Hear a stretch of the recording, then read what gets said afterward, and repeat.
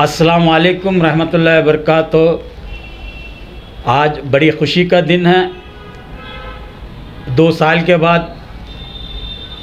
गुलबर्गा के अंदर हज़रत ख्वाजा बंदा नवाज़ रहमतुल्लाह अलैह का उर्स के मौके पर तमाम ज़ाहरीन मुल्क भर से गुलबर्गा जो तशरीफ़ ला रहे हैं, दिल की अमीक गहराइयों से इस्तकबाल करता हूँ मैं। और हज़रत गेसुदराज, सैयद खुसरो हुसैनी, साहब क़िबला, जो कि आज गुलबरगा के अंदर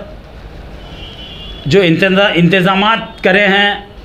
दो साल के बाद उनका भी दिल के अमीक गहराइयों से इस्तकबाल करता हूँ, शुक्रिया अदा करता हूँ। और ख़ास कर हमारे कारपोरेशन के डिपार्टमेंट का और सबसे ज़्यादा मैं उस पुलिस डिपार्टमेंट का, हमारे यहाँ के डीसीपी तमाम रोज़ा पुलिस स्टेशन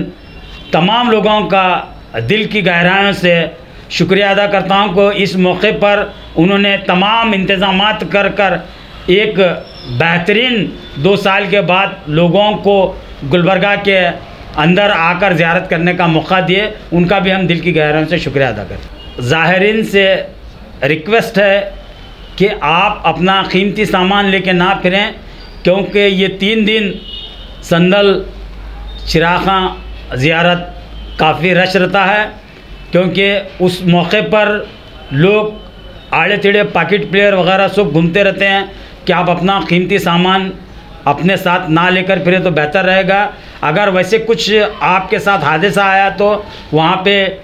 ख्वाजा बाज़ार के अंदर एक पुलिस स्टेशन कायम किया गया है टेम्पररी और वहाँ जाकर आप कंप्लेंट कर सकते हैं। और उन लोगों से भी गुजारिश करता हूँ कि जो हमारे यहाँ के वॉल्टियर हैं, वो भी इस मौके पर वैसे लोगों की पहचान करें और देखें। मैं तमाम गुलबर्गा के लोगों से गुजारिश करता हूँ कि ज़ाहरीन बाहर से आते हैं, उनका आप भी थोड़ा नज़र रख कर ख्याल रखें। और उन तमाम लोगों का मैं फिर एक मरतबा साहिब क़िबला तमाम अली बाबा, मुस्तफ़ा बाबा और हमारे आकिब बाबा और इन तमाम साहब फैमिली का दिल की गहरान से शुक्रिया अदा करता हूँ कि उन्होंने